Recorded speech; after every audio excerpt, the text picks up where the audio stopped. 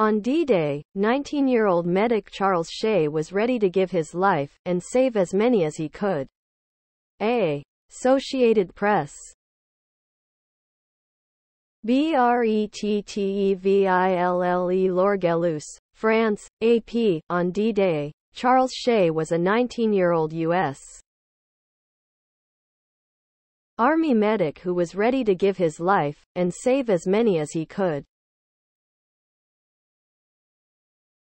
Now 99, he's spreading a message of peace with tireless dedication as he's about to take part in the 80th anniversary commemorations of the landings in Normandy that led to the liberation of France and D. Europe from Nazi Germany occupation. A Penobscot tribe citizen from Indian Island in the U.S. State of Maine, Shay has been living in Below are your comments.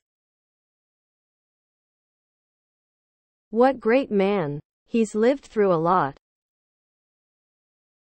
I had no idea Maine didn't allow Native Americans on reservations to vote for so long.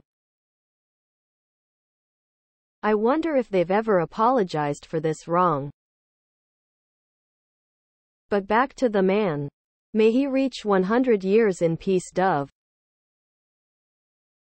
Thank you for all you did.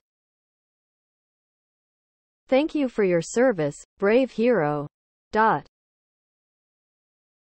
Greatest generation, thank you. Big thanks sir for what you did to help and save so many lives you are a real American Indian hero. Please subscribe to my channel. And if you like it, please thumbs up.